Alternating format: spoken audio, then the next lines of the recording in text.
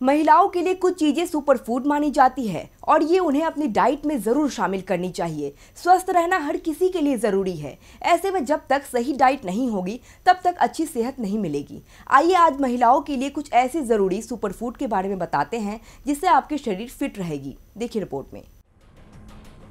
शरीर के लिए एक संतुलित डाइट बहुत ज़रूरी है। एक उम्र के बाद महिलाओं को कई तरह के शारीरिक बदलाव से गुजरना पड़ता है। जिससे उनके बॉडी में कई तरह के हार्मोनल बदलाव होते हैं। इसलिए पुरुषों की तुलना में महिलाओं को ज़्यादा पोषण की ज़रूरत होती है। महिलाओं को अपनी डाइट में लो फैट योगर्ट ज़रूर शामिल करनी चाहिए। दही पेट से जुड़ी सारी दिक्कतों को दूर करता है। पुरुषों की तुलना में महिलाओं में पेट से जुड़ी ज़्यादा दिक्कतें पाई जाती है। दही पेट के अल्सर और इन्फेक्शन के खतरे को कम करने में मदद करता है। इसके अलावा दही में हड्डियों को मज़बूत करने वाला कैल्शियम पाया जाता है। ये हर उम्र की महिलाओं के लिए ज़रूरी है। महिलाओं को हर दिन ब्रेकफास्ट लंच और स्नैक्स में एक कप दही खानी चाहिए। वहीं महिलाओं को मछली अपनी डाइट में ज़रूर शामिल करनी चाहिए।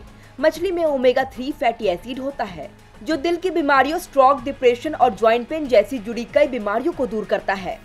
साथ ही लो फैट मिल्क या ऑरेंज जूस में पाए जाने वाला विटामिन डी कैल्शियम को आंत से अवशोषित करने में हड्डियों की मदद करता है। टमाटर में पाए जाने वाले लाइकोपीन को पोषक तत्वों का पावर हाउस कहा जाता है। साथ ही तिल चाहे सफ़ेद हो या काले ये महिलाओं के लिए बेहद फ़ायदेमंद होता है।